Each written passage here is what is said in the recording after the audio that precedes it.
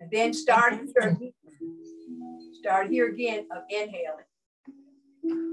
So just work on your breath right now for a minute.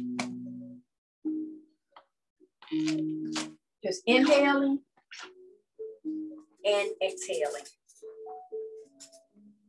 And remember, whole time you're keeping that skeleton lifted, shoulders back, shoulder blades together as you're still expanding. It's, when you inhale, let the air spiral.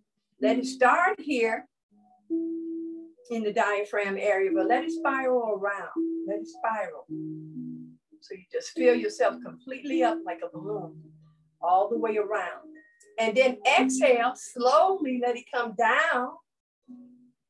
Let it collapse and pull in. Then start from this point again of inhaling. Just, just doing like a four count, not making it long, and exhaling. But when you're at home on your time, on your time, make them longer. Do eight counts, do 10 counts, 15 counts for each one. Now we're going to take movement with that. I'm just going to start with a simple movement. For your hands are going to make just like you're rotating a wheel. We're going to inhale and we're going to exhale. Pull in. Inhale. Exhale. Elbows back. Inhale. Exhale. Now we're going to reverse it. Bring it forward. Inhale. Expand. Exhale. Inhale. Exhale. One more. Inhale. Exhale. And all the action to be happening here. Should be no raising the shoulders up and down. Just here. See, nothing's happening in the shoulders. Not an outside movement. Say inside Making room for these organs. Like expanding and exhaling. And then, of course, you're getting more energy, more oxygen, and letting mm-hmm. all that waste out when you exhale, letting that carbon dioxide out. Let's take a little twist again, which is good for elimination. Put the left hand across, right hand in the back of the seat, and then pull up those vertebrae again. Inhale, pull the shoulder blades together. Exhale and twist at the waistline. Pull the pubic bone up into the navel. Rectus abdominals into the navel. Then inhale, come back center, and then exhale and change. Inhale up. Exhale, twist. Just the upper torso. But you are wringing out your intestines. That's what I'm trying to make an issue of. And that the only way you can really do that is by doing different type of twists. I'm just doing this particular one. But every time you twist, you get, that opens you up for that. Inhale, exhale. Inhale, come back center. One more time. Exhale, change. Inhale, pull up, separate the upper torso from the lower torso. Exhale. Then inhale, come back center and relax. Let's bring the arms down, tension in the shoulders. Let's lift those shoulders all the way up on the inhale. Inhale. And then exhale them down. Keep that chest up. Keep the collarbone open, shoulders back. Just pull in. Inhale. Exhale. One more time. Inhale. Exhale. Let's relax that and let's bring the legs out. And this is just moving the joints for circulation, flexing and extending your feet, flexion of the knees, bending the knees and stretching the knees. Don't push them down, just stretch them out. moving from here. But again, this is the lower torso, keeping the upper torso still and pulled up.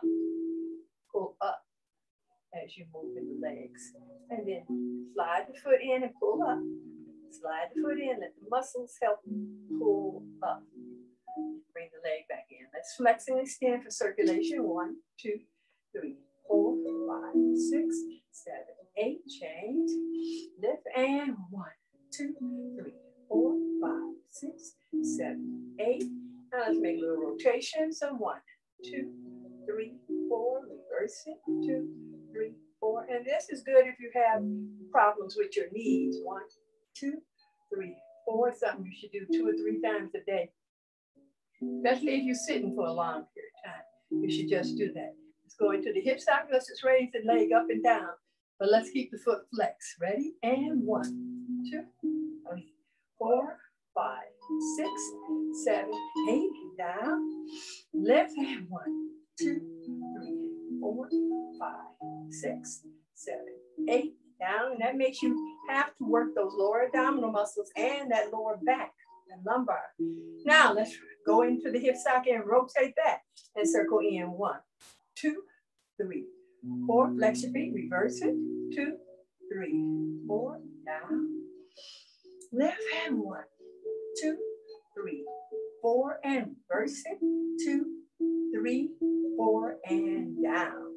Now squeeze the inner thighs together, cross them. We call this Charleston a little bit, and then go open in the groin area and go in the sides of your feet. Keep the upper torso pulled up. Turn the palms up so you lift the chest and shoulders back. Hold this form and just do the bottom, right? Isolate. Inhale, squeeze the adductors. Exhale, release them and let them relax. So if you pay attention, every time I'm doing something flexible that's dealing with flexibility, I do nothing but let go and allow my body to stretch. Because again, this is how long can you be in this position? You put your feet together like this and you're sitting on the floor up against a wall or something and just holding this position, you automatically are going to open up in the groin area. That's, that's going to happen. You don't have to do anything but just sit there and breathe and relax. No tension involved. Okay. And let's bring our legs back parallel. Okay, we warmed it up a little bit. So let's lift the leg up and reach it out to the side and down. Keep the upper torso facing front. Inhale and exhale.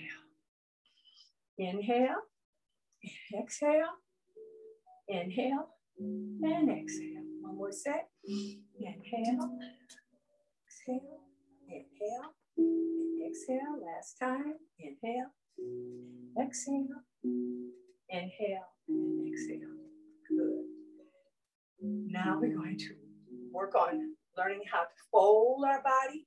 And we always start to the back of the neck, putting the chin in the chest. Allow the body to reach forward and down and fold. So now I'm starting here in my upper back, stretching those vertebrae, but I'm really stretching all the way. You should be able to feel the pull in that lower back. That's your exhale.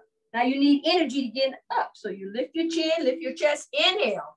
Now I'm pulling from the lower back and pulling myself back up straight in body alignment. My shoulders in line with my hips. My chin pushing back. I can feel the back of my vertebrae stretching. Then I'm ready to start again. Four counts. Exhale. One, two, three, four. Inhale up through your nostrils three, four. Exhale. One, two, three, four, and arching up. Cool, pulling out of that lower torso. One more time. Exhale. One, three, four. Press down in your heels. And pulling up. Right. Pulling up in that straight line. Our straight line, you're going to stand up, we call the mountain pose. And the mountain pose uh, in the stand, Sanskrit name is Tadasana, the standing tall like a mountain. Now we're going to reverse it. We're going to stretch the spine out, lift the chin up, just to stretch that neckline. Four counts, just reaching out, and then exhale. That was this, I'm sorry. And that's our exhale. And then drop and roll up. Inhale. Just roll the body up. Three, four, and exhale, like blow out the candle. Drop, inhale through the nostrils. Exhale, or just side. Let go. Inhale and pull up. Now the next one we're going to do is the hinge. And that's where the back is has no head, does not move. The back stays straight as possible. And you just hinge forward and come back up. So the hinge is at that waistline, right? It's like our elbows and our knees, our hinge positions, joints. And so it's the same thing. Only thing I want you to do is when you hinge and go forward, I want you to just stretch your arms back a little bit so that you don't bring your shoulders forward. Keep that chest up and the shoulders back and keep the head just in the body alignment. Then when you inhale up, stretch your arms down. Okay? Here you are, the arms are stretched down. You are inhaling. And then exhale, pull the pubic bone up in the navel. Inhale, stretch down and lift that chest up. Exhale, inhale, and pull back up. Now we're really going to stretch this area. This time when we exhale, we're going to go from here. And then when we inhale, we're going to sweep those arms up from here. All of this, our side obliques, our armpits, and we're going to use these triceps. We're going to try to keep that connection of the upper arm and the forearm straight. And then exhale, keep them straight and keep them pulled in and bring them straight down by each side. Everything is a four count. So inhale the spine up first. Exhale, hinge forward. Inhale, sweep, inhale up. And exhale down. One more time. Inhale. Exhale. Inhale. And exhale the arms down. Okay. So all your movements, I'll say them over again, they should be done with the breath. Here we go the goal post position. Pulling the shoulder blades together. The inhale, you're gonna add the head. You're gonna stretch the chin. And then you're going to exhale, bring the chin in your chest and bring the elbows together if you can, doesn't matter. Open up the shoulder blades though. And pull the pubic bone up into the navel. Inhale, expand. Exhale and pull in. Pubic bone up in the navel, put the rectus abdominals up into the navel. Open up those shoulder blades. Last time. Inhale, pull the shoulder blades together. Stretch your chin, stretch that neckline. Exhale, stretch the back of your neck. Feel that cervical area. Really stretch that upper back. Good. And bring your hands down and pull your spine back up straight again. All right. Let's go back to the legs. We want to keep it even, Steven. We're going to lift that leg, we're going to push it straight, and then we're going to try to lift the leg, keeping it totally straight. And push and stretch it. One, two, three, four, five, six, seven, eight. And then inhale to lift it back and down. Exhale. Now the standing leg, because these all exercises are standing positions also. So you've got to press that ball and heel down as if you are standing up. Inhale, push, stretch it, and one, two, keep pulling up, three, four, five, six, seven, eight. Inhale and exhale and down. Now we're gonna flex and extend it and keep the legs straight and that also protects those knees again. Ready? Push, stretch, and one, two, three, four, five, six, seven, eight. Inhale, exhale down. One more time. Lift and extend. And one, two, three, four, five, six, seven, eight. Inhale, exhale, and down. Good. Now, let's see, our hip sockets should be open, so let's bring them back.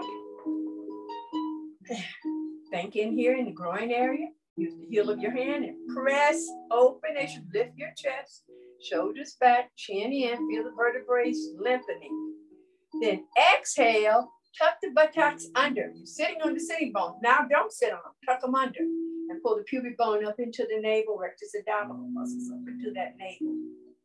Just right here, just the lower torso. Then inhale, sit up on the sitting bones. Pull the shoulder blades together. Try to pull the upper torso away from the lower torso as you open up the groin area with the heel of your hand. Then exhale, still keep this open, but try to tuck the buttocks. Squeeze in the gluteus maximus muscles into the anus muscles, up to the pubic bone, going up into the navel. And then inhale and sit up straight again. Now bring the hands back out to the side, and here we go with that twist again. See, no hands. The hands are just here. You can even put your hands on your shoulders. The twist is the upper torso separating from the lower torso. So it doesn't come from the shoulder, it doesn't come from the head, it comes from the area we've been stretching. That's where your twist comes from. And that's what we do when we do the side angle. We put the left hand on the inside, right hand on your hip. Now we're doing a modified side angle yoga position. So we inhale, we press open. Exhale, we twist to the right and slide down the left side. Now, as mm. we slide down the left side, see we're stretching all in here. We salute and stretch that armpit, exhale. Then we bring the arm down and then we pull up through our center. And then we exhale and change. Inhale, press open, press down in your feet. Exhale, twist to the left. Keep it on the navel, slide down on the right. Inhale, salute with the left hand. And exhale, give it a little stretch of that armpit. Feel your upper torso trying to pull out of the left side. And then bring the arm down and inhale the body up. One more set. Hip. Exhale, twist to the right, slide down the left. Inhale, salute. Exhale, stretch over there. Stay pressed open. Bring the hand down and inhale up. Exhale, change. Inhale, press open, chest up, come up out of there. Exhale, twist the waistline. Slide down. Inhale, bring the arm up. Exhale, stretch that armpit. Elbow back. Bring the arm down and inhale up. And I know you can feel that stretch on your sides, on your legs. Okay, still working on the spine a little bit. Turn to the side. I want you to hold onto that chair if you're holding onto ropes and pulling away. But not down here, up here. Keep that pelvic drop down, that gluteus maximus drop down, stay on the sitting bones, but try to come up out of that lower torso and lift that chest and push it forward as you pull away. The arms are straightening, pulling the shoulder blades together. So you pull the shoulder blades together and then you just stretch your chin just a little bit. So you're stretching the neckline. Then from here, you're gonna let go and you're gonna come up straight and bring the head back center, neutral, and stretch those vertebrae in the back of the neck. Exhale and relax and be ready to take it again. So we hold on Inhale, push away from the chair. Exhale, give it a little stretch. Pull the shoulder blades together. Stretch the neckline. Inhale, pull that upper back back up straight. And the crown of your head. And then exhale and relax. So that's the feeling that you want to have. That's preparation for a back bend upper torso lifts up out of the lower torso. And you're going to do that expansion. Okay, so here's how we're going to do that. We're going to come into the flat line first. Let's bring in the arms up.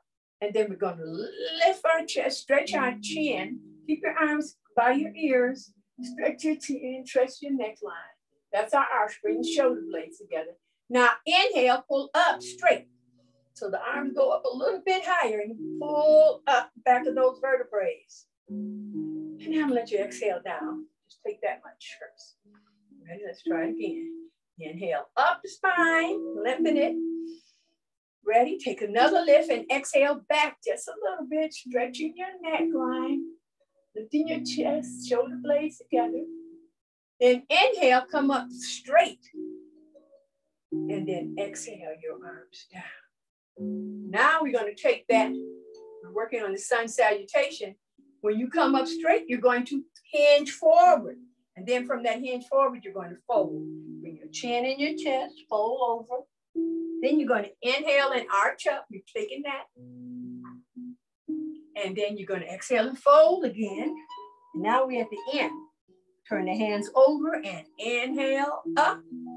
Upper torso, lower torso is down in the chair. Come to your center and exhale to your heart.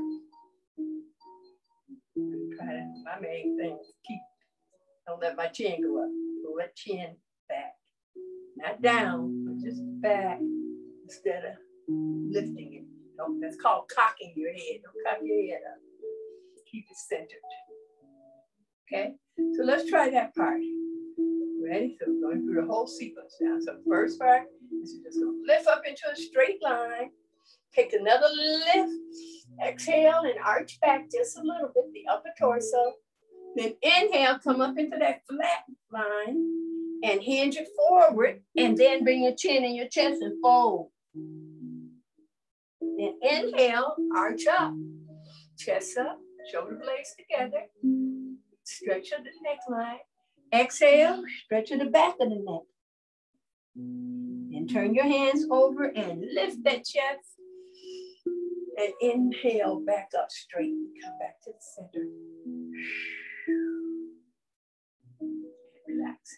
Now, when we're trying to get up, try to really work on not using your hands. I mean, you at first you're going to use it, but you want to learn how to use your feet. That's why we always talk about grounding your feet into the floor and shifting your weight. This is shifting your weight.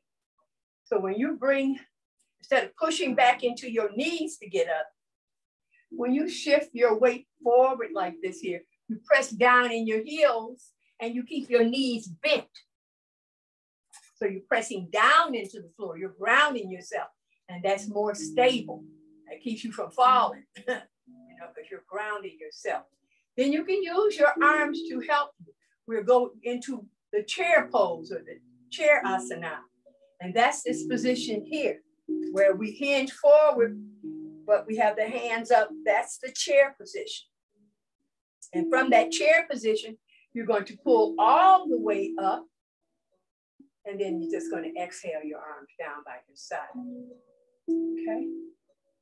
So we're going to, on the chair position, when you take that momentum to come forward here, that's when you're going to lift that buttocks out of that chair and, and ground your heels down. Okay? To the side a little bit. Let's try to hold, we'll take each position four counts. So here's our first one. First we inhale, we inhale, two, three, four. Here we go. Exhale, two, three, four. Press down. Inhale, drop the buttocks down into the heels.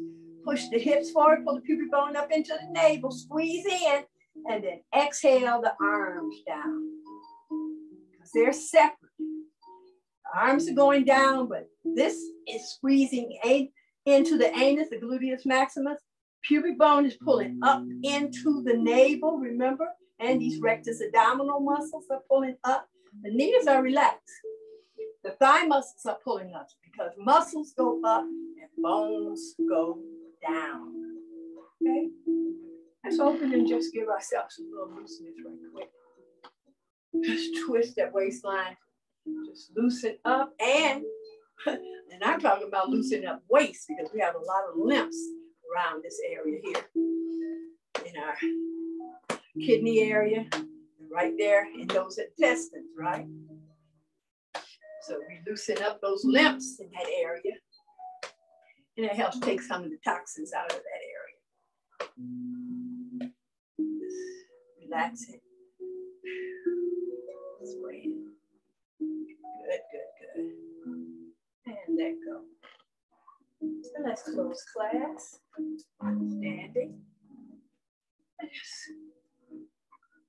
arms up and inhale. And exhale to the center. And inhale. And exhale. One more time. And inhale. And exhale. Namaste. Thank you so much for coming. Blessings. All right. You got any questions? Caroline, thank you. Thank you. I'd be more than happy to answer any